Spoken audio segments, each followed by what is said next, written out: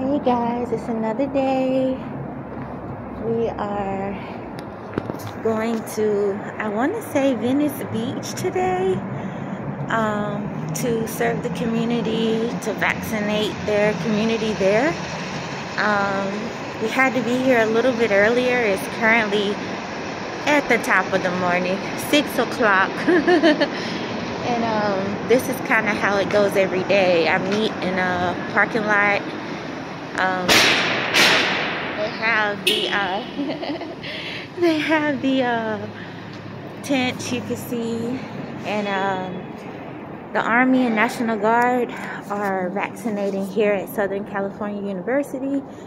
I am a part of the mobile vaccination team. We travel all throughout California, Southern California, doing vaccinations. So it makes it so cool because you get to see different parts of California.